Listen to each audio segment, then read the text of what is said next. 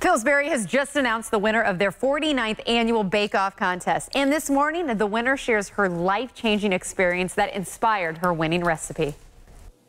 Hi, I'm excited to share with you my winning recipe of the 49th Pillsbury Bake Off Dublin cheese board stuffed appetizer bread.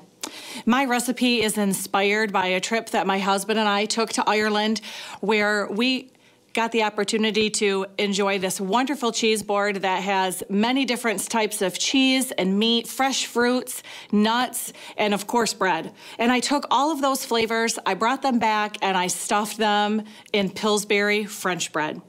So I chose to do Irish, sharp cheddar cheese and honey goat cheese and salami on the inside of my bread. And then I top it with sea salt and sliced almonds. Bake it up, smell that wonderful French bread in the oven.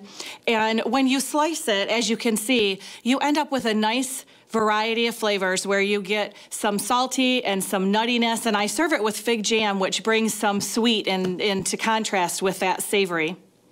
My husband and I were married very young and we never had a honeymoon and we never even got to go on vacation for that matter. So when it was time for our 25th wedding anniversary, we decided that we were going to go big or go home and we decided to go to Ireland.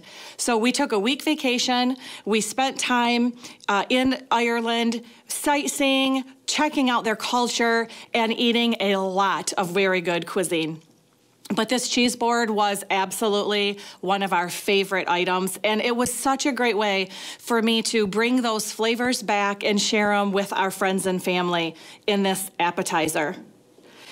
You know, I got a call from somebody at Pillsbury saying, you're a category winner. And that day was an absolutely amazing day and experience. So excited and an opportunity you just can't even believe is happening to you. But that was followed by a trip to New York where we got to go to the Food Network and tape an episode of The Kitchen where we got to create this wonderful dish. And GE is giving the category winners new appliances. They're getting a $5,000 check. So I was a winner way before they even announced the grand prize winner we went to Food Network a second time and taped another episode of The Kitchen where they revealed the grand prize winner. And, you know, we're standing there and you see this confetti flying and you hear your name called and you're in shock and then they give you a $50,000 check on top of that. It's just such an amazing experience, something I will absolutely never forget. My husband and I are going to take that $50,000 and redo our kitchen so we have a, a place for those new GE appliances.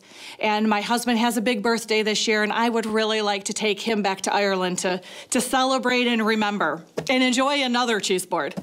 If you would like the recipe for Dublin cheese board stuffed appetizer bread, please visit bakeoff.com.